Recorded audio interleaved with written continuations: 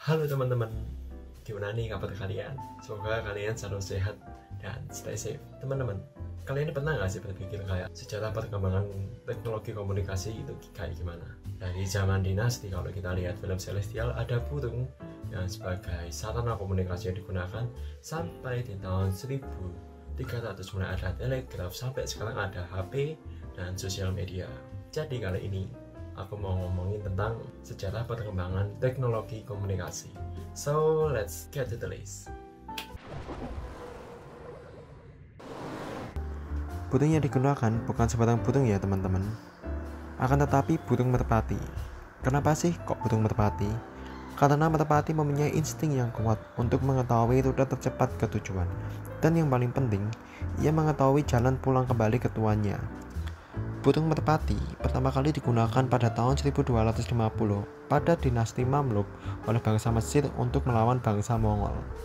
Mesir menggunakan untuk berkomunikasi antar menteri ke kepala pasukan dan kepala pasukan ke prajurit atau ke kepala pasukan lainnya.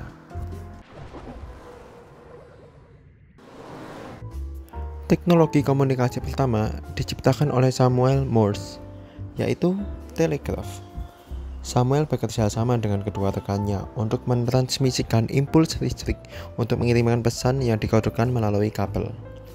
Telegraf menggunakan sandi Morse, kode berupa titik dan garis yang mewakili huruf dan angka. Pada tahun 1450, surat diciptakan oleh Johannes Genflin sur Leiden zu Gutenberg Surat masih berbentuk seperti brosur, dan nama surat tersebut adalah surat indulgensi. Dan perbedaan dengan surat zaman sekarang adalah surat ini berbentuk pengumuman dan bersifat broadcasting. Selain menciptakan surat, Johannes juga menciptakan huruf sendiri. Huruf khas Latin tegak lurus sebanyak 300. Pada tahun 1615, koran diciptakan oleh Johann Carolus. Koran menjadi terusan dari surat dengan mengirimkan informasi lebih banyak melalui media cetak dan koran menjadi media paling kredibel pada masa itu sampai sebelum keluarnya media-media online. Alexander Graham Bell menemukan telepon pada tahun 1876. Ia melakukan percobaan bersama rekannya yaitu Thomas Watson untuk mentransmisikan listrik menjadi suara. Enam tahun setelah telepon ditemukan, telepon mulai didistribusikan dan perusahaan yang mendistribusikan adalah Bell System, yaitu perusahaan yang dibuat oleh Alexander Graham Bell. Dengan adanya telepon, tentunya membuat masyarakat lebih mudah berkomunikasi karena tidak perlu mengirim surat atau tidak perlu datang ke rumah. Cukup melalui telepon dan orang tersebut bisa mengobrol dengan orang yang dituju. Radio ditemukan oleh Guglielmo Marconi pada tahun 1896. Marconi berasal dari Italia. Marconi melakukan penelitiannya bersama rekannya yaitu Heinrich Hertz untuk mengubah aliran listrik menjadi suara dan mereka berdua menciptakan gelombang atau frekuensi untuk radio. Awalnya percobaan mereka hanya membuahkan hasil sedikit, yaitu frekuensi yang diciptakan hanya mencapai 10 mil. Akan tetapi, pada tahun 1899, Frekuensi yang diciptakan oleh Marconi berhasil menembus sampai Selat Inggris. Pada tahun 1920, televisi berhasil diciptakan oleh Logie Bird. Penelitian untuk menciptakan televisi sebenarnya sudah ada sejak abad 19. Dari mentransmisikan listrik menjadi gambar 15 garis sampai menjadi gambar 30 garis. Pada tahun 1926, Logi berhasil mengumumkan dan memperlihatkan TV hitam putih pertamanya di London.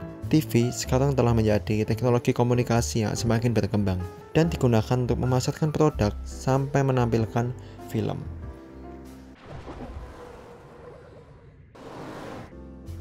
Selanjutnya adalah komputer.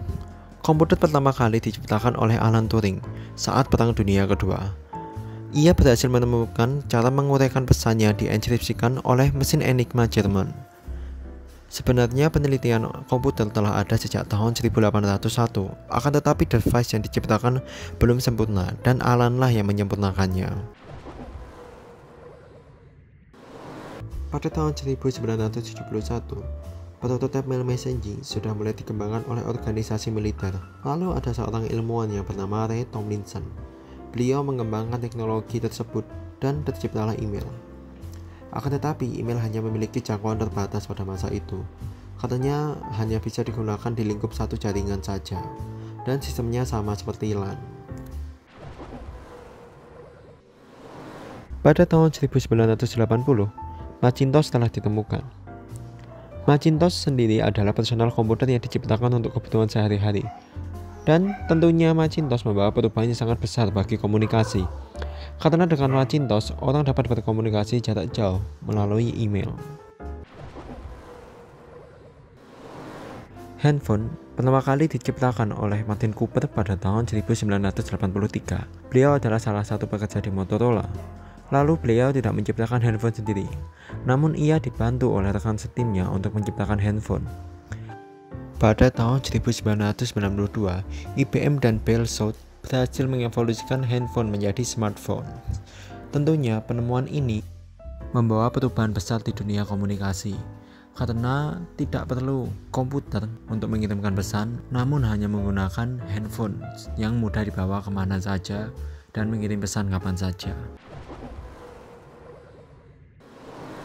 Internet worldwide telah ditemukan pada tahun 1990.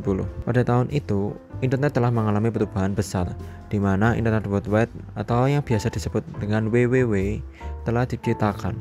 Internet worldwide membawa perubahan yang sangat besar, karena pengguna dapat mengakses seluruh informasi yang ada di internet. Sebenarnya, internet sudah ditemukan pada tahun 1960, akan tetapi hanya bisa berfungsi untuk menghubungkan dua device saja. Sosial media telah diciptakan pada tahun 1997. Sosial media pertama adalah Six Degrees, lalu berlanjut sampai sekarang. Tidak dapat dipungkiri bahwa komunikasi terbesar di dunia terjadi di sosial media. Bahkan sosial media memuat pengiriman pesan, pesan suara, panggilan, panggilan video, upload foto dan upload video, dan lain sebagainya. Dari usia anak-anak hingga dewasa, Perkembangan sosial media masih terus berlanjut hingga sekarang dan mengalami improvement untuk membuat pengguna semakin nyaman ketika menggunakannya. Sehingga sosial media mampu merajai seluruh platform komunikasi dan menjadi puncak tertinggi dari teknologi komunikasi pada masa ini. So, itu tadi sejarah perkembangan teknologi komunikasi. Misal kalian mau memberi tambahan atau memberi tanggapan, silahkan tulis di kolom komentar ya. Okay, thanks for watching this video. Goodbye.